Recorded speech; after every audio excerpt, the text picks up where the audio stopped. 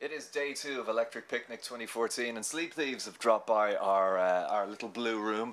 Uh, you've got no mud in you. What's the story? What, what's happened? What hasn't happened? We, we might have been Well, being being bit. it last night because we had a gig last night and a gig today, so we decided to uh, look looks it up.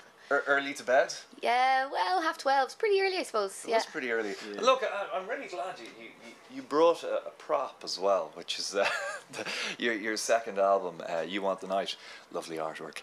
And tell me tell me about this actually, because I've been kind of hounding you on Twitter for the last year, saying, "Come on, when's the album done? When's the album done?" You often hear about oh the difficult second album. Uh, Surely any album is difficult to make. Did how, how did you find this one to make?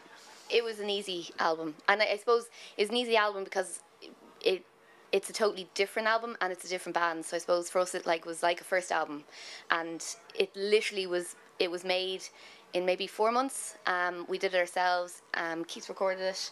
Uh, it was in a bedroom of a house and um, a house down in Wexford and in Dublin and basically it was really quick. Um, once Sparks went online, we got signed, and then we had a deadline because we thought, well, we want it out next year, so we had to send it to the label by December.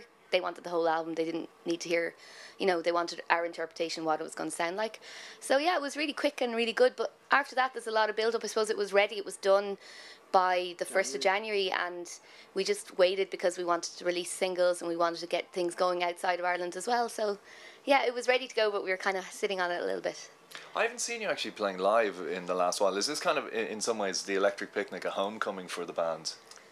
Maybe, yeah. Um, I suppose, like, I mean, the the tent we're playing today is probably our biggest show today. I'd imagine, like, you know, so like we're really looking forward to to playing big.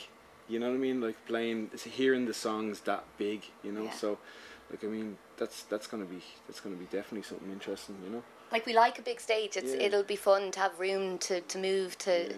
and to really feel we can get involved in the songs and I think I suppose we did a lot of we did quite a lot of gigs this summer, but this is definitely the pinnacle. And we were just saying earlier, the next gig is San Francisco, so Yeah. Oh, cool. things are going pretty well. the, the record label that you're signed to, are they based over in the States? Uh, they're from Chicago.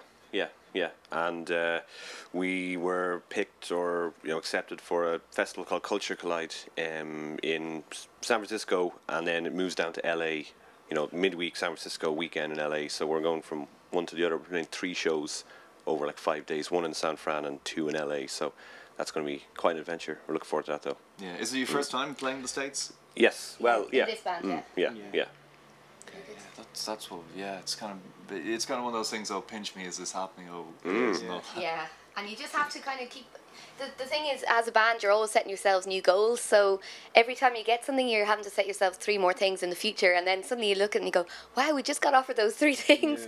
So it's amazing. And you have to keep reminding yourself to appreciate the moment, not always be looking ahead, you know. And because already, like, we'd be writing new songs and things. It's like, well, actually, we have to appreciate what we're doing now and, and love playing these songs, and w- which we do. Yeah. But you're always looking ahead, thinking, right, what's next? Where are we going? Because if you're not, you're not really moving forward. it's kind of like we there's a lot of drive going on as in we're driving forward but you kind of take a bit of time to look out the window sometimes you know because like things are moving fast and we're always saying oh wouldn't it be amazing if we did this or wouldn't it be amazing if we hit this goal or whatever like that but then you're kind of like hold on a second have a look back we're, we've actually done an alright amount this year like you know considering like it's just the three of us, you know. Yeah, the labels in the states, and that's amazing. But we're actually we take care of ourselves, you know. So it's kind of it's an interesting thing, like.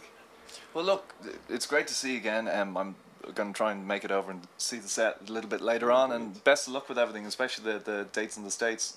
Thanks. Yeah, and Dan, can we just say thank you so much for all your support over Yeah, the years yeah, as well? It's been exactly. amazing. That pleasure.